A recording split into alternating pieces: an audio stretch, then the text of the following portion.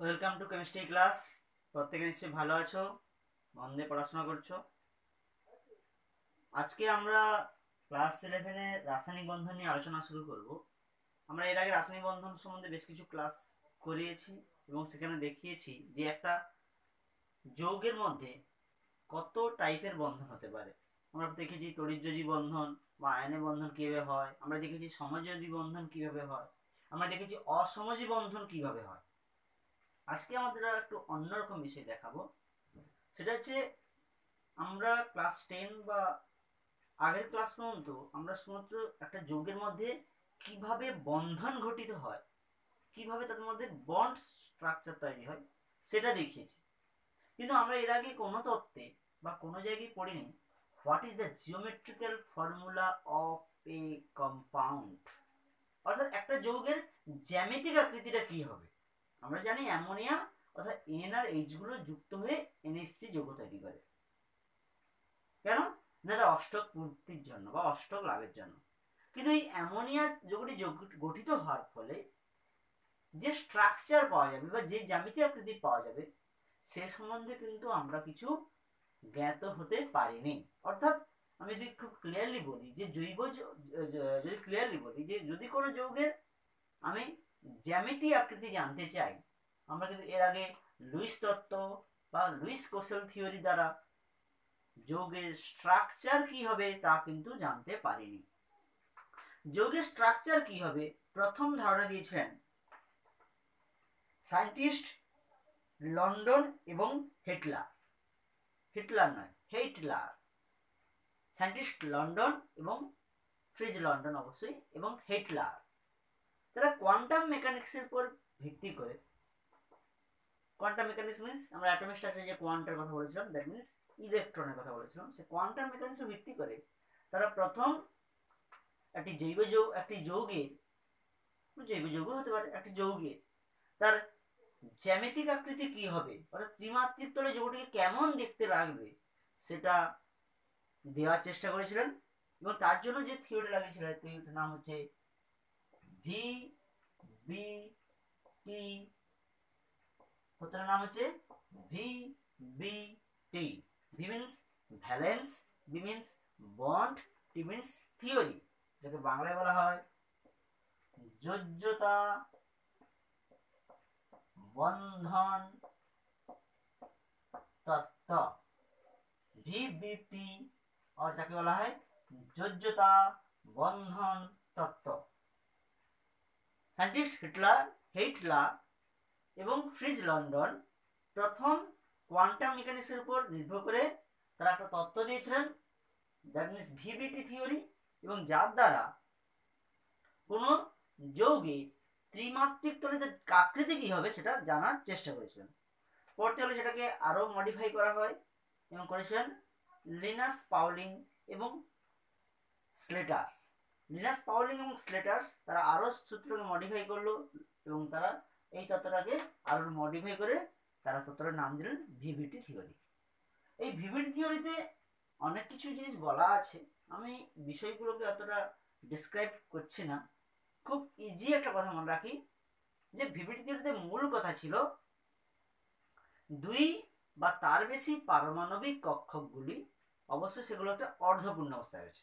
মূল কথাই বলছি যেটা আমাদের মনে রাখতে হবে এবং যেটা দ্বারা আমরা ভিডিওটি বোঝার চেষ্টা করব যে দুই বা তার বেশি পারমাণবিক কক্ষকগুলি যখন অর্ধপূর্ণ অবস্থায় থাকে এবং অপোজিট স্পিন অর্থাৎ ভিন্ন ঘূর্ণন বিশিষ্ট হয়, তখন তারা পরস্পর কাছাকাছি এসে অভিলেপন করে এবং অভিলেপনের ফলে কি তৈরি হয়? না, অভিলেপনের পরে যৌগ গঠিত হয়। এবং এই অভিলেপনের সময় তারা যে দিক অবলম্বন করে অভিলেপিত হয়, সেটি হচ্ছে সময় বন্ধনের, সমযোজী বন্ধনের অভিমুখ হিসেবে বিবেচিত হয়। কারণ আমরা ক্লাস টেনে বলেছিলাম কোন বন্ধনের অভিমুখ আছে? In which bond direction which bond have the direction কোন বন্ধনের অভিমুখ আছে? আমরা পড়েছিলাম, সমযোজী বন্ধনের অভিমুখ আছে। কেন?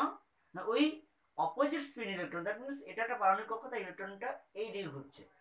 একটা পারমাণবিক কক্ষতা ইলেকট্রনটা এই দিকে ঘুরছে। এই অপোজিট স্পিন ইলেকট্রনগুলো যখন কাছাকাছি আসে, তখন অভিলিপ্ত হয় এবং তখনই একটা সমজী বন্ধন গঠিত হয়। এবং অভিলিপ্তের সময় তারা যে অভিমুখে অভিলিপ্ত হয়, তার বন্ধনের অভিমুখ সেই দিকেই হয়। অর্থাৎ আমার তত্ত্ব অনুযায়ী ব্যাপারটা হচ্ছে, এটা যদি একটা এস কক্ষ হয়, এটা যেটা এস কক্ষ হয়, কারণ আমরা সরিঞ্জারের তরঙ্গ সমীকরণ পড়েছি এস কক্ষের আকার কীরকম হবে? এস কক্ষের আকার গোলক আকার। এবং কাছে যদি একটা পি কক্ষক নিয়ে আসা হয় এর যদি একটা পি কক্ষক নিয়ে আসা হয়,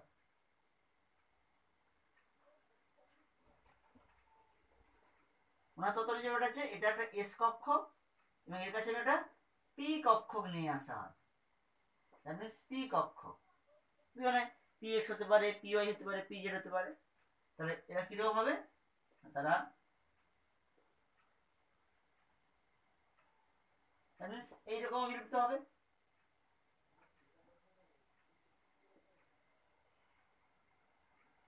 যাকে আমরা বলি এস পি হয়ে তাহলে এর একটি ইলেকট্রন ছিল দ্যাট মিনস এই ওরিয়েন্টেশনে বিজয় ইলেকট্রন আর এর একটি ইলেকট্রন ছিল দ্যাট মিনস এই ওরিয়েন্টেশনে দ্যাট মিনস আমি যেটা বলেছি অপোজিট ডিরেকশন এই যদি এই ডিরেকশনে হয় তাহলে এই এই ডিরেকশন তাহলে তত্ত্ব অনুযায়ী কি ছিল? দুটো ভিন্ন পারণিক কক্ষ তাহলে এটা পারণিক এটা পারণিক কক্ষ যেখানে ইলেকট্রনগুলো বিজোড় অবস্থায় আছে। দেখো, এখানে একটা বিজোড়, এখানে একটা বিজোড়। এবং অপোজিট স্পিন যদি এ ঘড়িকারের দিকে হয় এই ঘড়িকারের বিপরীত দিকে হয়। তখন তার পাশাপাশি এসে অভিলুপ্ত হয় এবং অভিলুপ্ত হলেই এখানে কি হয়? তখন এদের মধ্যে বন্ধ হয়। তাই দ্যাট ইজ এই। এই যে অভিলেপন হচ্ছে। এটা হচ্ছে এসপি যদি আমি ওটা এরকমই দেখাতে পারি এই একটা পি তার কাছে আরেকটা পি নিয়ে এলাম। পি আর একটা পি ও পি এক্স হতে পারে পি হতে পারে পি জেড হতে পারে। কি ওটা হবে? এর একটা বিজোড় ইলেকট্রন আছে, এর একটা বিজোড় ইলেকট্রন আছে, দেখো। দুজনে বিজোড় ইলেকট্রন আছে, কিন্তু ইন অপোজিট স্পিন তাহলে এই যদি ঘড়িকাটার দিকে হয়, এই ঘড়িকাটার বিপরীত দিকে হবে।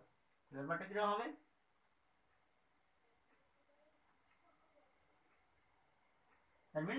এই দেখো that means P P P P অভিলেপন. এবং এই অভিলেপনগুলোকে কি অভিলেপন বলা হয়? সিগমা অভিলেপন। কি অভিলেপন বলা হয়? সিগমা অভিলেপন। সিগমা অভিলেপন কি?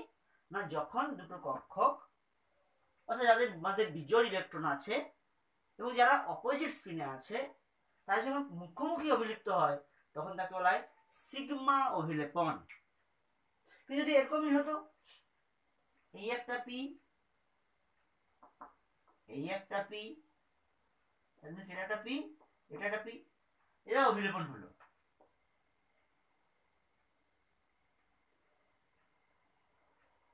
এখানে একটা ইলেকট্রন আছে, এখানে একটা ইলেকট্রন আছে, এদের মধ্যে অভিলেপন হলো। কিন্তু অভিলেপনটা একটু ভালো করে দেখো। হেডে হেডে ওভারল্যাপ নয় মানে মুখোমুখি অভিলেপন নয়। কেমন অভিলেপনটা হলো? পাশাপাশি।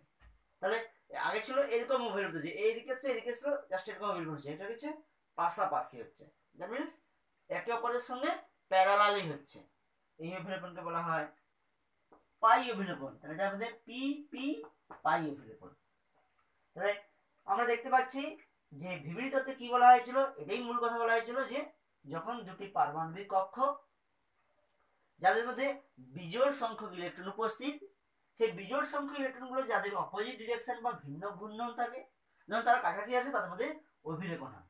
সেই অভিলেপন দুরকম হতে পারে, একটা মুখোমুখি অভিলেপন হতে পারে, একটা পাশাপাশি অভিলেপন হতে পারে। যদি মুখোমুখি অভিলেপন হয়, তখন তাকে বলা হয় সিগমা অভিলেপন যদি পাশাপাশি অভিলেপন হয়, তখন তাকে বলা হয় পাই অভিলেপন তাহলে দু ধরনের অভিলেপনের মাধ্যমে তারা কি তৈরি করে? বিভিন্ন যৌগ তৈরি করে। এবং এই অভিলেপনের ফলে তারা যে কক্ষক তৈরি করে। সেই কক্ষকে নাম বলা হয় হাইব্রিড আর বাইটাল বা সংকর কক্ষ সংকর কেন? এটা একটা আলাদা, এটা একটা আলাদা। দুটো মিশিয়ে গেলে নতুন ধর্ম আমরা বাইরে পড়েছিলাম না যে ডুমুর গাছ লাল, ডুমুর গাছ সবুজ। দুটো মিশে গেলে তাদের মধ্যে একটা আলাদা ধরনের চরিত্রের একটা ডুমুর গাছ তৈরি হলো বা ডুমুর বীজ তৈরি হলো। তাহলে দ্যাট মিনস এটা হচ্ছে হাইব্রিডাইজেশন সংকরায়ন তার সংকরায়ন মানে যখন ভিন্ন ধর্মনিষ্ঠ দুজনে যে মিলে যায়। তাহলে এখানে দেখো দুটো ভিন্ন পারণিক কক্ষ ছিল। তার পাশে যুক্ত হয়ে নতুন একটা পারণিক কক্ষ তৈরি করল নতুন একটা আণবিক কক্ষ তৈরি করল। এই কক্ষকে বলা হয় হাইব্রিডাইজেশন বা সংকর কক্ষ। এবং এই তত্ত্বের উপর নির্ভর করে এই তত্ত্বকে মডিফাই করে নতুন নাম দেওয়া হলো শঙ্করায়ন তত্ত্ব। তাহলে যোজদা বন্ধন তত্ত্বের উপর বেস করে নতুন তত্ত্ব এলো তত্ত্বের নাম হচ্ছে শঙ্করায়ন তত্ত্ব। তত্ত্বের নাম হচ্ছে শঙ্করায়ন তত্ত্ব হাইব্রিড হাইব্রিডাইজেশন বা সংক্রান্ত তত্ত্ব কি সংকরায়ন তত্ত্ব হলো? ওই যে পারমাণবিক কক্ষগুলো মধ্যে বিজোড় ইলেকট্রন আছে এবং যাদের ইলেকট্রনগুলো ভিন্ন অভিমুখে আছে, তাদের মধ্যে যখন অভিলেপন হয়, তখন নতুন কক্ষ তৈরি করে, সেই কক্ষ নাম হচ্ছে শঙ্কর কক্ষক বা হাইব্রিড অরবিটার এবং এবং ওই কক্ষকটিকে বলা হচ্ছে হাইব্রিড অরবিটার কক্ষক এবং ধর্মটি বলা হয় শঙ্করায়ন তত্ত্ব। ওকে শঙ্করায়ন তত্ত্বে এদিকে আমি লিখলাম কক্ষক যেগুলো বিলুপ্ত হবে। এদিকে লিখলাম শঙ্কর রায়ন দশা মানে যে দশা বিলুপ্ত হবে এদিকে লিখলাম জ্যামিতিক আকার, অর্থাৎ তাদের কি আকার হবে। যদি সংখ্যা অক্ষকে একটা এস আর একটা পি নেওয়া হয়, একটা এস একটা পি নেওয়া হয় ওকে একটা পি নেওয়া হয়? তখন সংকরায়ন দশাটা হয় এসপি একটা এস একটা পি নেওয়া হয়, তখন সংকরায়ন দশা হয় এসপি আর এসপি হলে হবে, সরল রৈখিক। যদি এখানে একটা এস দুটো পি নেওয়া হয়, তখন সংখ্যা দশা হবে এসপি টু এবং জ্যামিতি আকার হবে ত্রিকোণীয় সমতলীয়। যদি একটা এস তিনটে পি নেওয়া হয়, তাহলে সংখ্যা দশা হবে এসপি থ্রি জ্যামিতি আকার হবে? টেট্রাহিড্রাল বা চতুস্তলকীয় যদি একটা এস তিনটা পি এবং একটা ডি হয় সংখ্যা দশা হবে এসপি থ্রি ডি জ্যামিতি আকার হবে? T B P trigonal bipyramidal বা ত্রিকোণীয় দ্বিপিরামিডীয় যদি একটা এস তিনটে পি দুটো ডি হয়। সংখ্যা হবে এসপি থ্রি ডি টু হবে?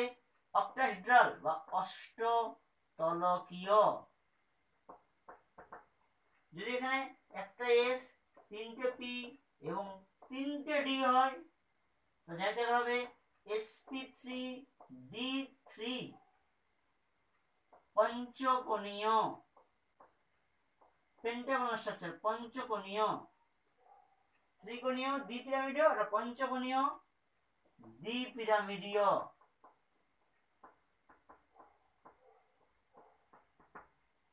পঞ্চকোণীয় দ্বিপিরামিডীয় তাহলে আমরা কি দেখতে পাচ্ছি? যে, আমরা দেখতে পাচ্ছি যে, বিভিন্ন কক্ষকগুলি যখন তারা বিজোড় ইলেকট্রন নিয়ে অভিলিপ্ত হয়, অভিলিপ্ত হওয়ার পরে তাদের কক্ষক সংখ্যার সাপেক্ষে তাদের কক্ষক সংখ্যার সাপেক্ষে নতুন নতুন সংকর কক্ষক সৃষ্টি হয়। যেমন একটা এস একটা পি হলে এসপি একটা এস দুটো পি হলে এসপি টু একটা এস তিনটে পি এসপি থ্রি একটা এস তিনটে পি একটা D S P three D একটা এস তিনটে পি দুটো D S P three D two একটা এস তিনটে পি তিনটে D S P three D three বিভিন্ন সংখ্যক হতে যাচ্ছে এবং এই সংকর কক্ষগুলি কি দেখাচ্ছে? ভিন্ন ভিন্ন জ্যামিতিক আকৃতি দেখাচ্ছে। অর্থাৎ শঙ্করায়ন দশায় উল্লেখ করছে একটা যৌগের ত্রিমাত্রিক তলে তার জ্যামিতিক আকৃতি কি হবে? আমরা আজকে দেখতে যাইব এই শঙ্কর দশা কীভাবে জ্যামিতিক আকৃতিকে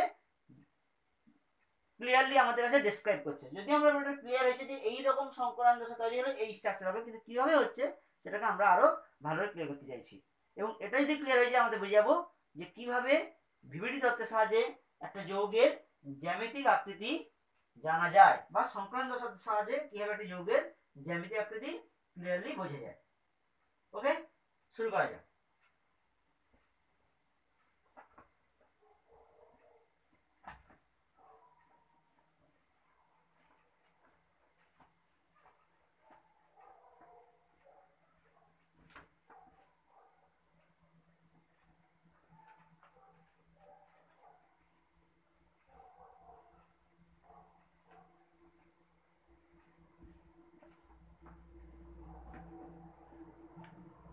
প্রথম আমরা যে যৌগটা নিয়ে শুরু করব, একটা এক্সাম্পল দিয়ে শুরু করতে হবে, বা একটা এক্সাম্পল নিয়ে আমাদের জানতে হবে।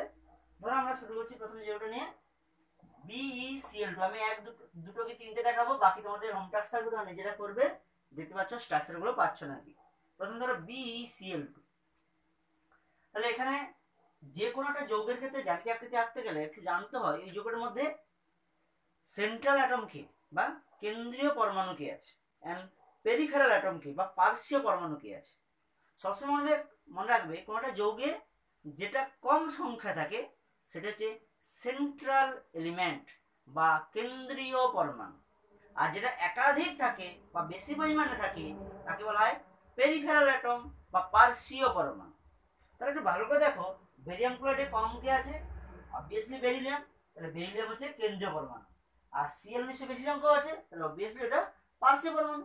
আমরা ভাষাটা লিখব কি? কেন্দ্রীয় বেরিলিয়াম পরমাণুর বহিস্থ কক্ষে ইলেকট্রন বিন্যাস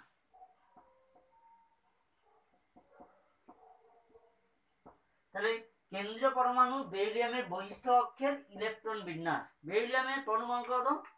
হা হি লি বে। মানে চার চার মানে one S two two S two hydrogen, helium, lithium, beryllium.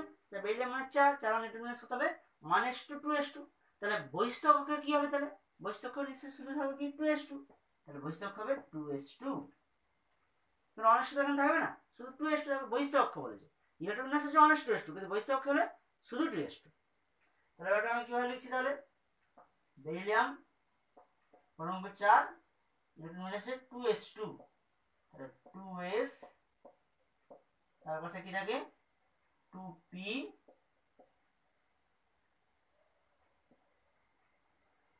okay two P two S এর দুটো আছে, একটা, দুটো। এটাকে কি বলা হয়? স্থিতাবস্থা। মানে যে অবস্থাতে তাকে পর্যায়সারণীতে পাওয়া যায়, স্থিতাবস্থা। আচ্ছা এবার ভিভিডি তত্ত্ব বা ভ্যালেন্স বন্ড থিওরি বা যোজা বন্ধ তত্ত্ব কি বলেছিল? প্রতিটি পরমাণু তারা অযুগ্ম ইলেকট্রন সৃষ্টি করতে পারে। এবং সে অযুগ্ম ইলেকট্রন যুক্ত বিপরীত ঘূর্ণন কক্ষগুলি সংকরান্ত সহ অংশগ্রহণ করে বা তারা অভিলেপনে অংশগ্রহণ করে। কিন্তু এখানে দেখো তো বেরিয়ামে কোনো অযুগ্মটন আছে? নেই। তাহলে ও নিশ্চয়ই অভিলেপন করতে পারবে না। কারণ অযুগ্মটন থাকলে তো অভিলেপন করবে। ও তো দুটো ইলেকট্রনই জোর হয়ে বসে আছে। তাহলে ফার্স্ট অফ কি চাই? একে অযুগ্ম করতে চাই। আচ্ছা এখানে কতগুলো অযুগ্ম করতে চাই আমি? মনে রাখবে, যতগুলো পার্শ্বীয় পরমাণু আছে, ঠিক তত সংখ্যক অযুগ্মটন সৃষ্টি করতে হবে। তাহলে আমি ব্যাপারটা ক্লিয়ার করে নাও। আবার বলছি যে ভিভিডি তত্ত্বে বলেছিল যে, কেন্দ্রীয় পরমাণু আর পার্শ্ব পরমাণু যে পরমাণুই হোক, তারা কি করবে? না, যখন ওরা অভিলেপনে অংশগ্রহণ করবে, তাদের বিজোড় ইলেকট্রনগুলো বিপরীত ঘূর্ণনে এসে অভিলেপন করবে। এটা হতে পারে পাশাপাশি, হতে পারে মুখোমুখি মুখোমুখি হলে সিগমা, পাশাপাশি হলে পাই। কিন্তু অবশ্যই অযুগ্ম ইলেকট্রন সৃষ্টি করতে হবে। তাহলে এক্ষেত্রে বেরিলামে কি অযুগ্ম আমরা দেখতে পাচ্ছি? অবভিয়াসলি না। কেন? দুটো ইলেকট্রনই পেয়ার বা জোড় হয়ে বসে আছে। তাহলে আমাকে অযুগ্ম সৃষ্টি করতে হবে। কতগুলো সৃষ্টি করতে হবে? না, যতগুলো পার্শ্ব বর্ণ থাকবে, ততগুলো সৃষ্টি করতে হবে। যতগুলো পার্শ্ব বর্ণ থাকবে, ততগুলো সৃষ্টি করতে হবে। কটা পার্শ্ব বর্ণ আছে এখানে? দুটো। তাহলে কটা সৃষ্টি করতে হবে? দুটো সৃষ্টি করতে হবে। দেখে চার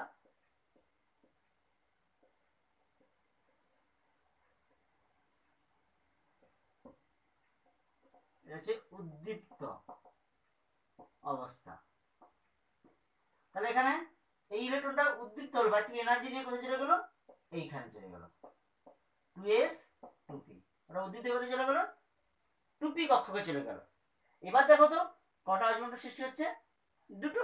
তাহলে এখানে দুটো অজমন্ডল সৃষ্টি হয়ে গেছে। মানে ওই দুটো ইলেকট্রন কি হবে? তারা অভিলেপন। তারা অভিলেপন অংশগ্রহণ করবে। কার সঙ্গে অভিলেপন অংশগ্রহণ করবে? সি এর পরমাণুর সঙ্গে অভিলেপন অংশগ্রহণ করবে। সি এল টু কেন? এবার অভিলেপন হবে।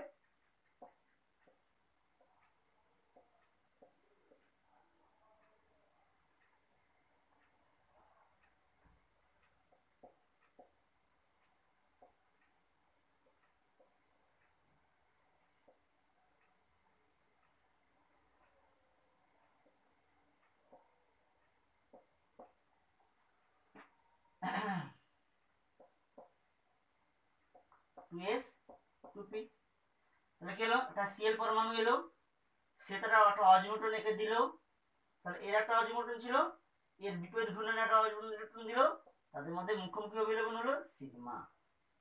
আবার একটা সিএল পরমাণু এলো, একটা সিএল পরমাণু এলো, তার একটা ইলেকট্রন দিল কাকে একে কীরকম দিল? বিপরীত ঘূর্ণন।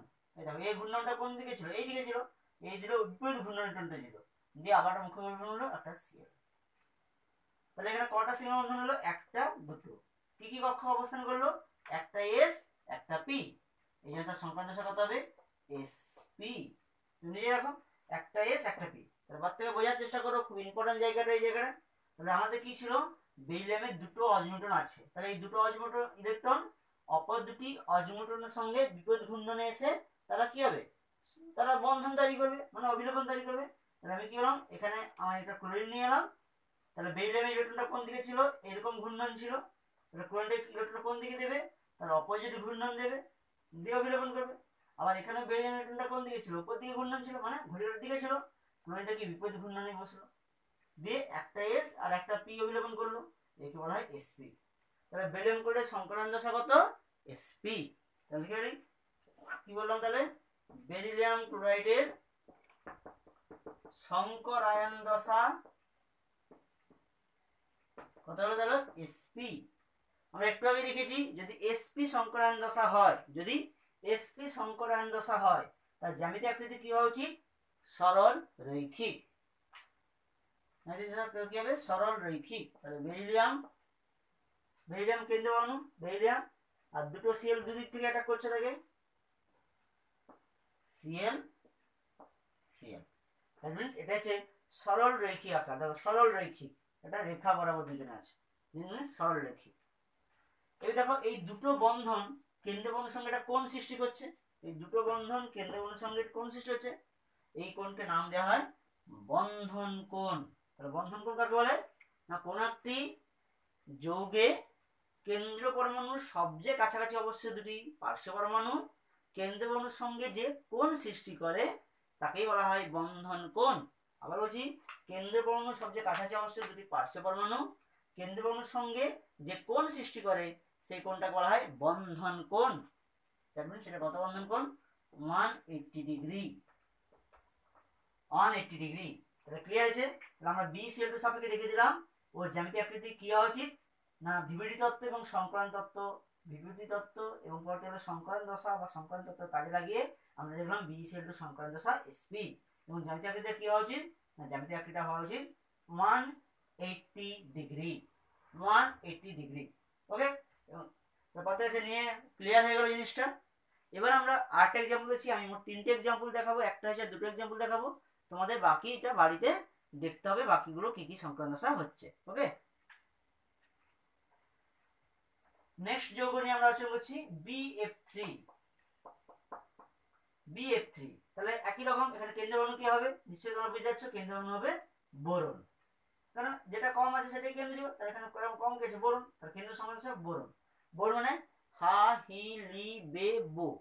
হা, হি, লি, বে, বো। মানে hydrogen, helium, lithium barium boron. Boron মানে তাহলে পাঁচ পাঁচ মানে one S two two S two two P one তার বৈস্তব্য কি হবে? Two S two two P one তার মানে হবে? Two S two two P one তাহলে বেরিয়ামের ক্ষেত্রে তাহলে কি লিখব এখানে? তাহলে পাঁচ two S two two P one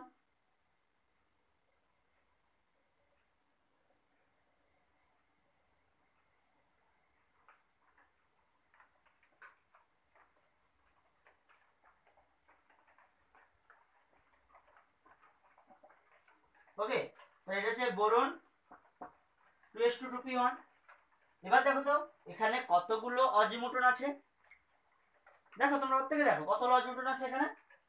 একটা আছে। তাহলে ও কতগুলো অভিলেপন করতে পারবে ম্যাক্সিমাম একটাই, কেন অজিমোটন তারা অভিলেপন করে? কিন্তু এখানে কতগুলো পার্শ্ববর্ণ আছে? কতগুলো আছে? তিনটে। তাহলে ও কতগুলো বন্ধন করার সামর্থ্য আছে? তিনটে। তাহলে তার জন্য কতগুলো অজিমোটন সৃষ্টি করতে হবে ওকে? তিনটে। কিন্তু ও করেছে ওটা একটা। তাহলে ওকে কোথায় নিয়ে যেতে হবে? উদ্দীপ্ত অবস্থায় নিয়ে যেতে হবে। তাহলে কোথায় নিতে হবে উদ্দীপ্ত অবস্থায় নিয়ে যেতে হবে। তাহলে উদ্দীপ্ত অবস্থায় নিয়ে গেলে কি হবে? এই যে জড়িটটা কাছে চলে গেল, তার পাশের কক্ষে চলে গেল। তাহলে এখন কতগুলো অজমিউটন আছে? তিনটে। তাহলে তিনটে অজমিউটন আছে। তাহলে অবশ্যই তিনটে অপর তিনটি অজমিউটনের সঙ্গে যুক্ত হয়ে তারা অভিলেপনের মাধ্যমে সংক্রমক তৈরি করবে। দেখি ব্যাপারটা কীরকম দ্যাট মিনস তাহলে বি এফ থ্রি এক, দুই তিন জাস্ট এরকম বসে আছে ওরা। টু এস টু পি তাহলে কি হলো? এটা সেটা ফ্লুরিন এলো। সেটা ইলেকট্রন দিল বিপরীত ঘূর্ণনের মাধ্যমে, দিয়ে সিগমা করল। আটটা ইলেকট্রন এলো ফ্লোরিন তার বিপরীত ঘূর্ণনের মাধ্যমে ইলেকট্রন কাকে দিল? একে দিল, দিয়ে একটা সিগমা করল। আটটা ফ্লুরিন এলো, তার অপোজিট ঘূর্ণন ইলেকট্রনটাকে বোরনকে দিল। আবার সিগমা করল তাহলে এখানে কটা সিগমা, কটা এস কটা পি আছে? একটা এস এবং দুটো পি দেখো, একটা এস এর ঘর আর পি এর দুটো ঘর নিয়েছে। সংক্রান্ত হবে এস পি টু সংক্রান্ত কত হবে? এস পি টু তাহলে এস পি টু তাহলে বিএফ থ্রি সংক্রান্ত কত পেলাম আমরা? না বি বিএফ থ্রি সংক্রান্ত পেলাম আমরা এসপি টু আমরা ওখানে পড়েছিলাম এসপি টু হলে জ্যামিতি আকৃতি কি হবে? ত্রিকোণীয় সমতলীয় মানে একটা তিনটা কোণে তিনজন থাকবে এবং সমতলে থাকবে। যদি আঁকি তাহলে ব্যাপারটা কি দেখতে পাবো? বি তিন কোণে তিনজন আছে। তিন কোণে তিনজন আছে। দ্যাট মিনস এটা ত্রিভুজের মতো দেখতে লাগবে। ত্রিভুজে যেন তিন কোণে তিনজন আছে। তো একে বলা হয় ত্রিকোণীয় মানে তিনটে কোণে তিনজন আছে এবং সমতলীয়, সমতলে আছে। তাহলে এটি হচ্ছে তাদের মধ্যে কি? বন অ্যাঙ্গেল বা বন্ধন কোণ। তাহলে মোট কত অ্যাঙ্গেল ছিল আমার? একশো আশি না তিনশো ষাট। একবার গোল ঘুরলে একটা বৃত্ত, তিনশো ষাট। তিনশো ষাটকে তিনজন ভাগ করে নিচ্ছে মানে প্রত্যেকের ভাগে কত হয়ে হচ্ছে? ওয়ান টোয়েন্টি ডিগ্রি মোট একত্রিশ ষাট ডিগ্রি তিনশো ষাটকে কজন ভাগ করছে? তিনজন ভাগ করছে, তাহলে কত ভাগ কত হচ্ছে বারো ছত্রিশ মানে একশো কুড়ি ডিগ্রি করে পড়ছে এটা হচ্ছে সংক্রান্ত তত্ত্ব এবং ভিউটি তত্ত্ব সাপেক্ষে বিএফ থ্রি সংক্রান্ত দশা এবং জ্যামিতি আকার, ত্রিকোণীয় সমতলীয়। নেক্সট লাস্ট আমি দেখাচ্ছি তোমাদেরকে নেক্সট ডেটে তোমরা আর বাকিগুলো সলভ করবে। সি এইচ ফোর এখানেও কি? অবভিয়াসলি কার্বন যেটা কম্পোনেন্ট আছে আমি লিখি, কেন্দ্রীয় কার্বন পরমাণুর বৈশিষ্ট্য ক্রিয়েটোমিনাস কার্বন হচ্ছে হা হি লি বে বো কা তাহলে hydrogen, helium, lithium, beryllium boron, carbon. মানে ছয়। ছয় হলে তাহলে কি হবে? One S two two S two two P two তাহলে বৈশিষ্ট্য হলে কি হবে? Two S two two P two তাহলে বৈশিষ্ট্য কি হবে তাহলে? কার্বন ছয় two S two two P two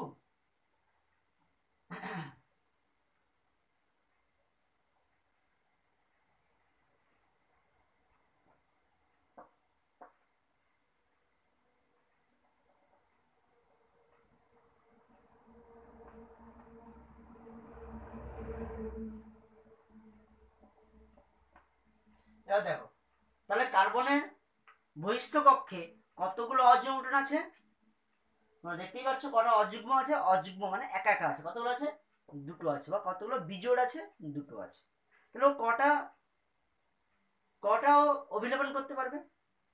obviously দুটো। কারণ যতগুলো অযুগ্ম থাকবে, তারাই তো বিজোড় ইলেকট্রনগুলোর সঙ্গে কি করবে? তারা অভিলেপন করবে। তাই কটা দুটো। কিন্তু পার্শ্ববর্ণ কটা আছে? চারটা। তাহলে কতগুলো অভিনয় করতে পারে ম্যাক্সিমাম চারটা। কিন্তু আছে ওর কটা? দুটা। তাহলে ওকে কি করতে হবে? আরও দুটো সৃষ্টি করতে হবে। তাহলে কি করতে হবে ওকে? উদ্দীপ্ত অবস্থায় নিয়ে যেতে হবে।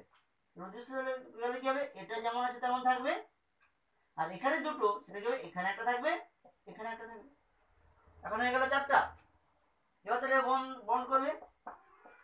বন করলে কি হবে? তাহলে কার্বনের একটা একটা একটা একটা বসে আছে।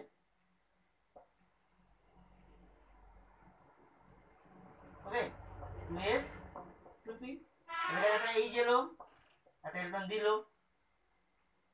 সিগমা। আর একটা এইচ এলো একটা ইলেকট্রন দিল সিগমা। আবার একটা এইচ একটা ইলেকট্রন দিল সিগমা। আবার একটা এইচ এলো একটা ইলেকট্রন দিল সিগমা। তাহলে এখানে কতগুলো কক্ষ আছে? একটা এস এবং তিনটে পি তাহলে সংক্রান্ত কত হবে? এস থ্রি সংখ্যা কত হবে? এস থ্রি তাহলে সিএইচ ফোর এর ক্ষেত্রে সংক্রান্ত কত পেলাম? সিক্স প্লাস সংখ্যা কত পেলাম? S P three S P three S P three হলো আমাদের কি স্ট্রাকচার বলেছে? চতুস্তলকীয়। কি স্ট্রাকচার হবে? চতুস্তলকীয়। ওটা যেমন এটা সি এদিকে একটা এইচ থাকল, এদিকে একটা এইচ থাকল, এইদিকে একটা এইচ থাকল। আর একটা এইচ বিলো দা প্লেন থাকল। এইচ কি? বিলো দা প্লেন থাকল। ওটা একটু ক্লিয়ারলি বোঝার চেষ্টা করো।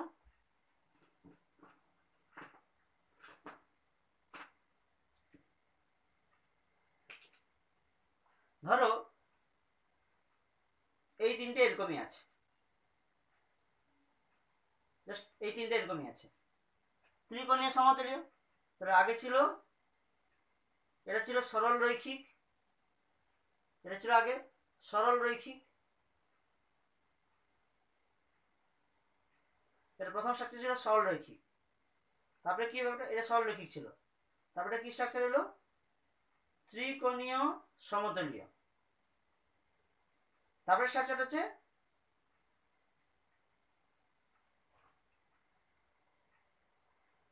এসপি থ্রি তার মানে স্ট্রাকচারটা হচ্ছে এইটা। এই দেখো। চতুস্তলক একটু ভালো করে দেখো। ভালো করে বুঝে চতুস্তলক তাহলে এটা ত্রিকোণের সমতল দেখো, এটা অ্যাবাভ দ্য প্লেন আছে। বা উল্টো যদি ভাবলে বিলো দ্য প্লেন আছে। তাহলে এটা কি একটা তলে আছে? এটা একটা কি তলে আছে? এটা কেউ একটা তলে এটা ত্রিমাত্রিক তলে আছে। কত? ত্রিমাত্রিক তলে আছে। দ্যাট মিনস এটা হচ্ছে চতুস্তলকীয় আকার। এটা হচ্ছে চতুস্তলকীয় আকার। ওকে তাহলে এই বন অ্যাঙ্গেলটা কত হবে? এটা যদি প্লেনে থাকতো, তাহলে নশো ছত্রিশ নব্বই ডিগ্রি করে হতো। এটা প্লেনে নেই তো। প্লেনে নেই বলে, এটা কত আছে অ্যাঙ্গেলটা আছে একশো ন ডিগ্রি আঠাশ মিনিট। এটা বারবার বলছি, এই তিনটে একই রকম আছে, এইটা বিলো বা অ্যাবাভ দ্য প্লেন এটা একটু বেঁকে আছে। বেঁকে থাকার জন্য আমরা কীরকম একটু বাঁকিয়ে এঁকেছি এটা সোজা আঁকিনি কিন্তু। ওটা ভালো করে দেখো, একটু বাঁকিয়ে এঁকেছি বাঁকিয়ে মিনস ওটা একটু বাইরের দিকে বেরিয়েছে সেটা বোঝানোর জন্য বাঁকিয়ে এঁকেছি এটা হচ্ছে এসপি থ্রি সংখ্যাদশা জ্যামিতি আকার চতুস্তলকীয় তোমরা বাড়িতে বাকিগুলো চেষ্টা করবে